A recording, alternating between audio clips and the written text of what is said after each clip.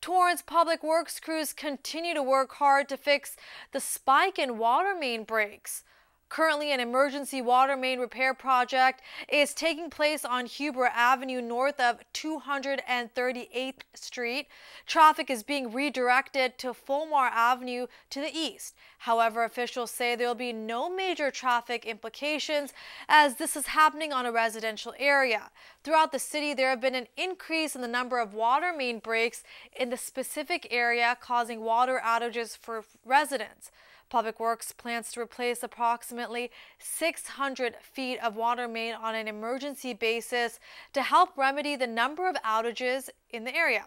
Water Operations has a water main replacement program that is focusing in North Torrance right now. They're targeting hot spots that need replacements.